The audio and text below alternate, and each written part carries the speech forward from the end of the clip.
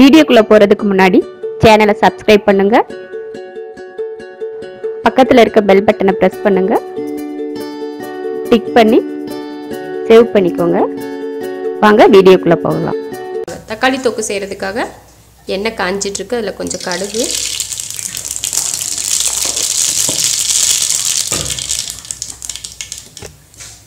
ஒரு பெரிய வெங்காயம் ரெண்டு பச்சை மிளகாய் ரெண்டு கட் பண்ணியிருக்கேன். பூண்டு பல் ஒரு நாலு. அதையும் குட்டியாக கட் பண்ணியிருக்கேன்.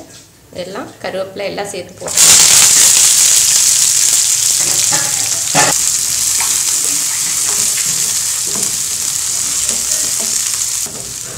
வெங்காயத்தை நல்லா வதக்கிடணும்.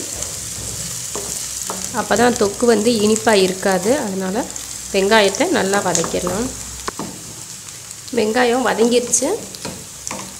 தக்காளி நாலு கட் பண்ணி போடுறேன்.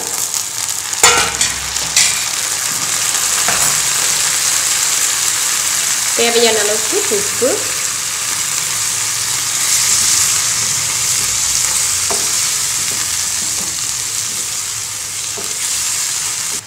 ஒரு ரெண்டு நிமிஷத்துக்கு மூடி வச்சிடலாம். அதுக்கப்புறம் ஓப்பன் பண்ணி கிளறி விடலாம். அப்பப்போ வதங்க தக்காளி வதங்குற வரைக்கும் கிளறி விடலாம்.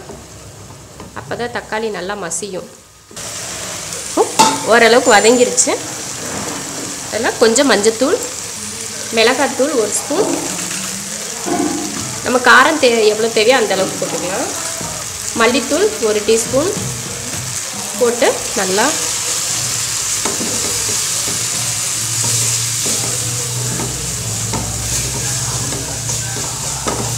இப்போ போட்ட மசாலோட பச்சை வடை போகிறதுக்காக லைட்டாக தண்ணி ஒரு கால் டம்ளர் கூட தேவையில்லை அதுக்கும் கம்மியாக கொஞ்சமாக தண்ணி ஊற்றியாச்சு ஊற்றி இதை கொஞ்சம் நேரம் பெரட்டி விடலாம். ஒரு ஒரு நிமிஷத்துக்கு இந்த மாதிரி வதக்கி விடலாம்.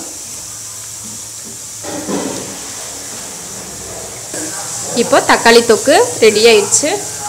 அடுப்பை ஆஃப் பண்ணிடலாம் இப்போது இது போல் தக்காளி தொக்கு செஞ்சு சாப்பாட்டுக்கு சப்பாத்தி தோசை இட்லி எல்லாத்துக்குமே நல்லாயிருக்கும் இந்த மாதிரி தொக்கு செஞ்சால் லஞ்சுக்கு இட்லியோ சப்பாத்தியோ எடுத்துகிட்டு போனால் இது மாதிரி செஞ்சு எடுத்துகிட்டு போனால் நல்லாயிருக்கும். நீங்களும் இது போல் ட்ரை பண்ணி பாருங்கள் பிடிச்சிருந்தா லைக் பண்ணுங்கள் மற்றவங்களும் பார்க்கணுன்னு நினச்சா ஷேர் பண்ணுங்கள் மறக்காமல் சப்ஸ்கிரைப் பண்ணுங்கள் நன்றி.